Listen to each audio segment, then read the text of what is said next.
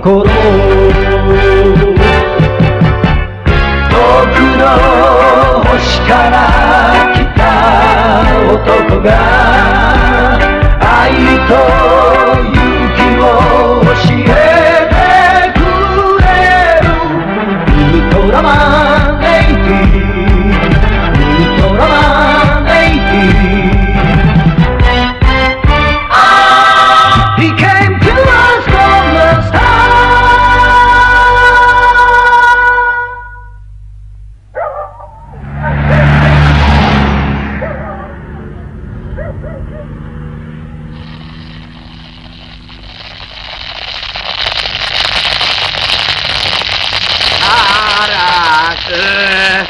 なぜ泣くの？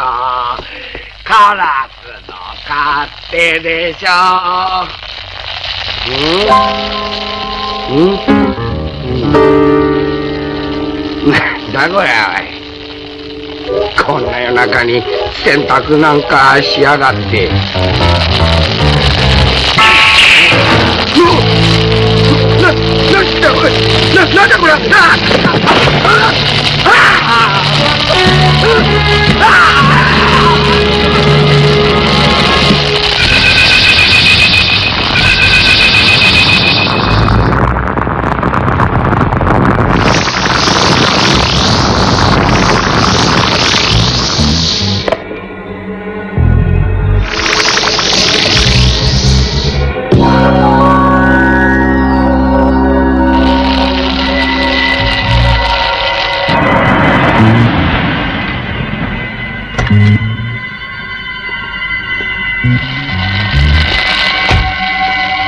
どうもありがとう。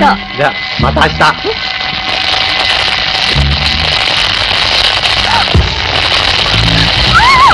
どうした？恵子さん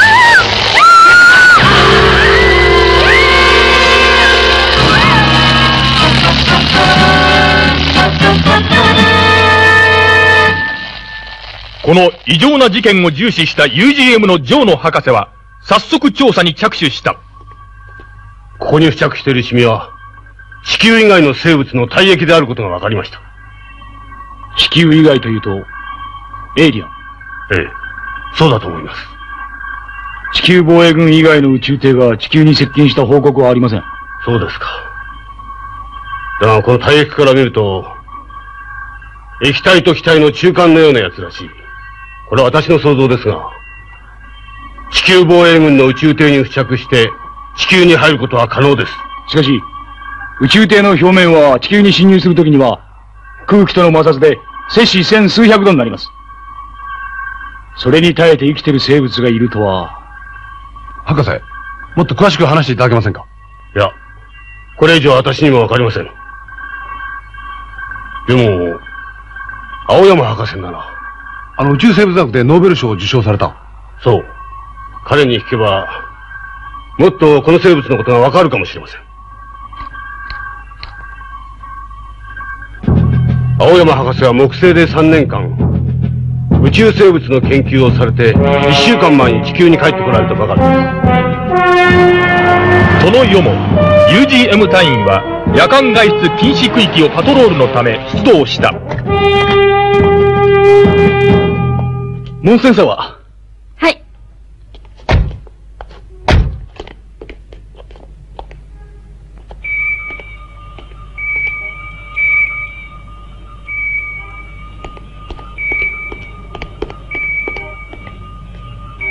ごめんください。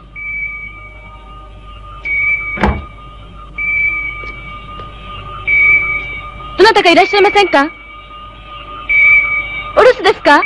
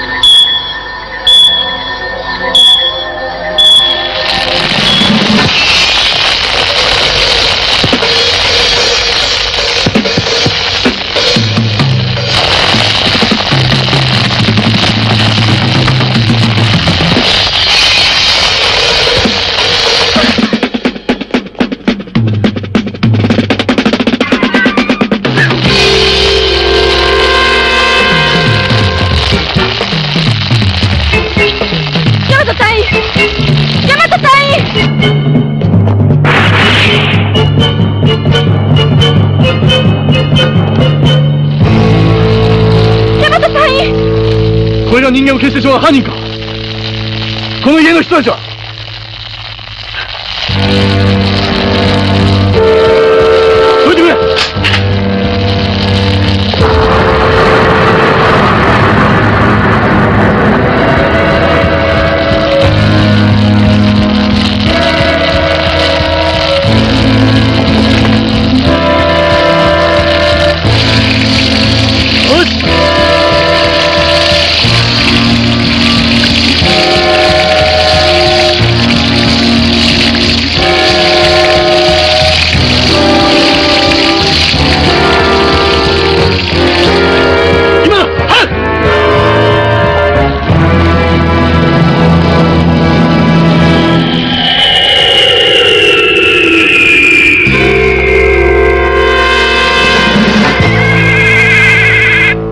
そうか。大変だったな。それより、青山博士がもうすぐここへ来られる。その場でお前たちが見たことを報告しろ。何か解決方法が見つかるかもしれん。代わりにな、藤森と池田の二人をやる。了解あら？あなたたち新人ね。UGM3 期、藤森です。同じく6期、池田です。よろしく。私、気象班のゆり子です。どうぞよろしく。伊藤さん、時間は大丈夫でしょうね。多分大丈夫だろう。多分。うん。間違いない。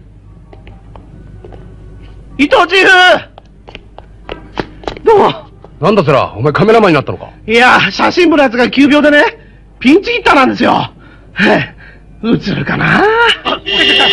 ただ、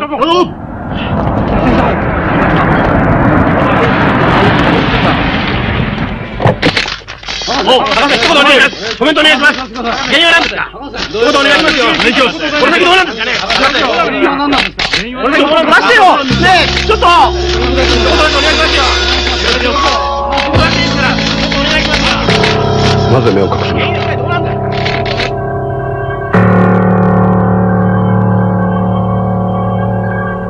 これはもしかすると、アルゴ星人のものかもしれない。アルゴ星人私も会ったことがないのでよくわからんのだが、会ったという宇宙人からいろいろデータを見せてもらったことがある。それによると、アルゴ星は今から100万年前に死滅して縮小を続け、ついにブラックホールになった。それからアルゴ星人は宇宙を炭酸ガスを求めて移動しているという。炭酸ガス？アルゴ星人にとって炭酸ガスは我々人間の酸素と同じなんだな。どんな姿をしているんですか？はっきりした形がなくよく見えないと言われている。宇宙の高級生命体の進化の最後の姿は実体のない想念だけの生物になると言われている。アルゴ星人はそういう高級生命体への進化の途上にあるようだ。人間がどんな背伸びをしても勝てない知能を持った星人だ。博士、あの泡、あらいったアルゴ星人の何なんですか？それに、炭酸ガスで生きる生物がなぜこの地球に？まあまあ落ち着きなさい。そういうせっかちなところが地球人の一番の欠点だ。一つ一つお答えします。まず、アルゴ星人と泡は全然関係がないと思われる。また別のエイリアンが侵入している可能性が強い。人間が消えるというのも、そのエイリアンがあったことだろう。アルゴ星人は戦いを好まない平和な星人だが、一旦怒らせると、この宇宙では一番強い。これをご覧ください。皆さんもご存知のように、工場の煙、排気ガス、その他いろいろな炭酸ガスによる地球汚染は、今や極限に達しており、そのうち大気圏やバンアレン帯にも侵入しかねない状態です。アルゴ星人は、だから地球へ来たのだろう。私はそう信じている。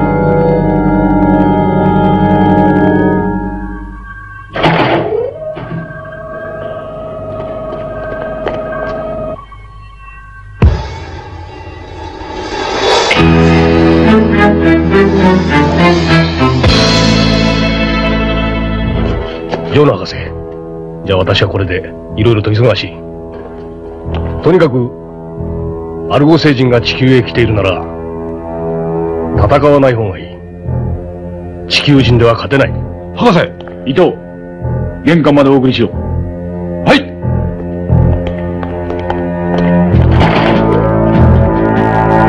アルゴ星人は平和な宇宙人ではない。生物の知能を吸い取って、高級生命体になろうとする、エゴな星人と聞いている。大山君。何か？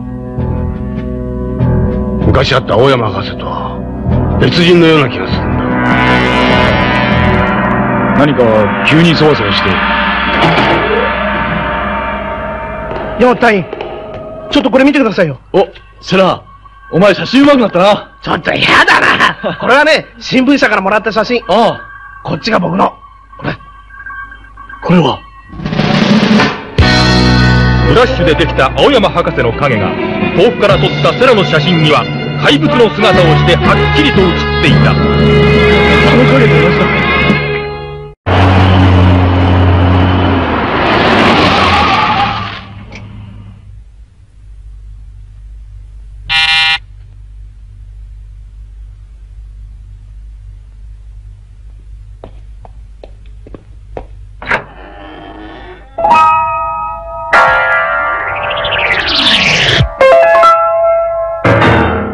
君は、どうぞ。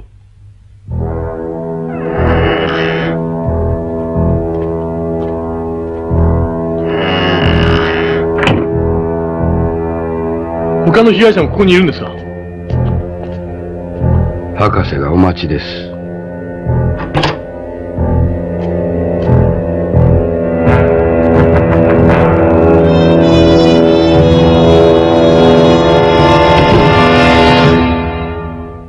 よく来てくれたな、ウルトラマン80。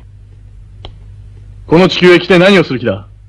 アルゴ星人。いや、私は青山だよ。何？前にも言ったように、アルゴ星人はいろいろな生命体の知能を吸い取ることにより、実体がなくなりつつある。だから私は、地球では青山博士の体を借りている。地球人を襲うときは泡になって。いや、あの泡は私の宇宙服だよ。それで、アルゴ星人の地球へ来た目的は何だ？何をしに来た？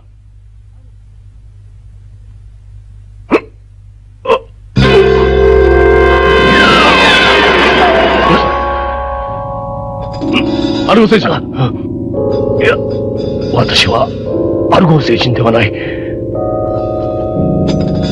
今、アルゴ星人は私の体から出ていった。またどこかで地球人を襲っているに違いない。アルゴ星人とどこで会ったんですか？私が、宇宙艇で地球へ帰る途中だった。私はもっと、宇宙のいろいろな知識が欲しかった。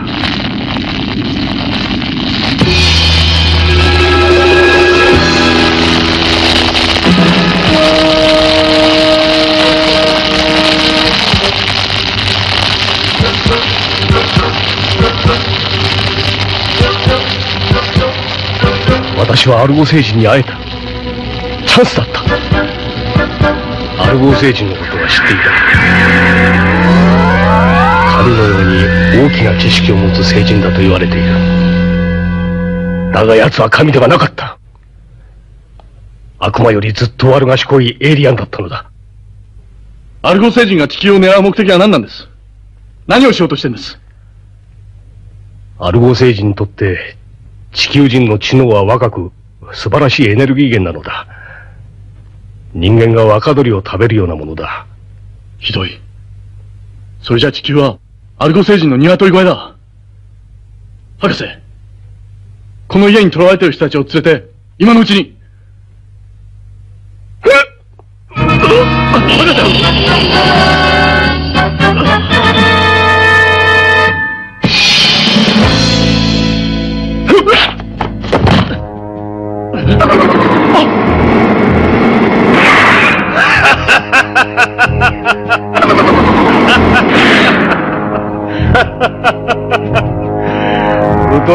ラマン80。私がいない間に色々と分かっただろう。その通りだよ。地球人のこれから育とうとする若いエネルギーは宇宙に数少ない栄養だ。ウ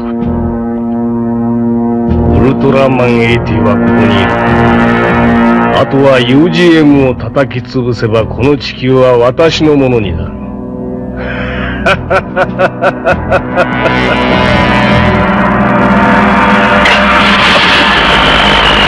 のバリアの中では君はウルトラマン80に変身できない。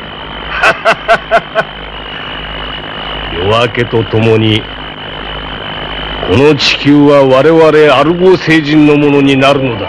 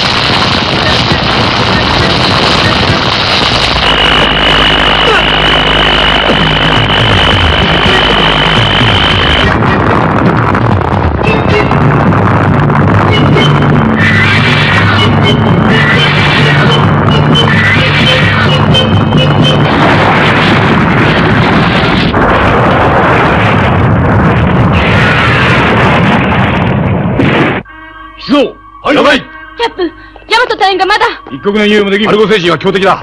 怪獣やエイリアンから地球を守るのは我々の役目だからな。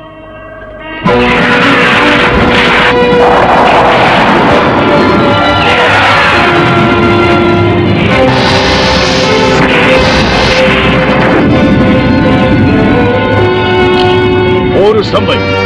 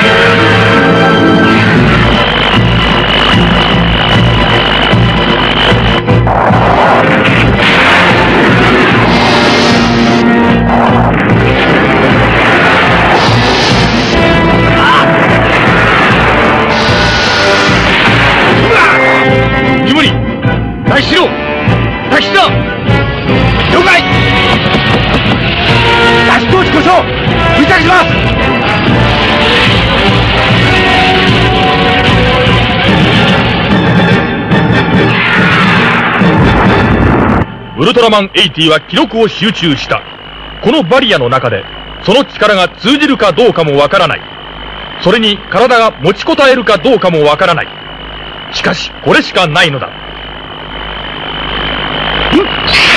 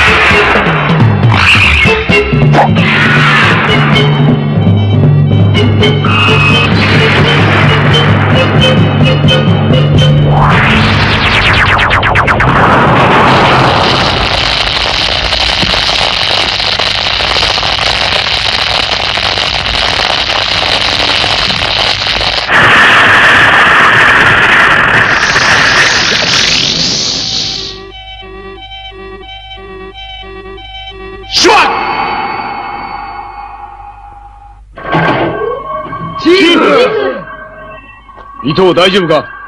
これぐらいの傷じゃ寝てられませんよ。で、青にやられた被害者は？うん。青山博士もそうだが、みんなまだ眠りから覚めん。でも、人間の知能を吸い取る奴がこの宇宙にいるなんて信じらんないですよね。吸血鬼も、もしかしたらエイリアンの侵略が伝説になってるのかもね。まさか漫画の読みすぎだよ。この広い宇宙には、もっと恐ろしい奴はまだまだいる。いつ、再び襲ってくるかもしれない。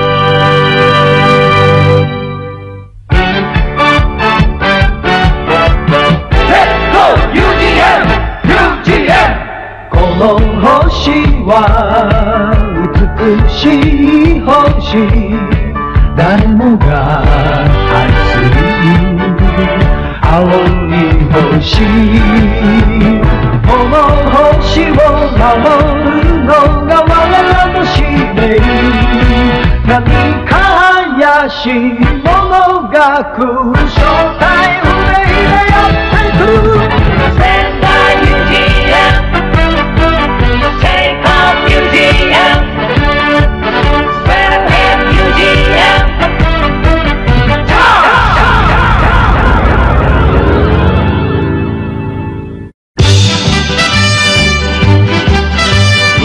星空からバラバラと降ってきたのは渡り鳥怪獣の破片だった。一体空の彼方では何が起こったのだろうか。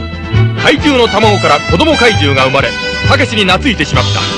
巨悪怪獣との戦いでウルトラマン80が絶対のピンチになった時その子供怪獣が思いがけない力を発揮する。次回ウルトラマン80渡り鳥怪獣の子守歌。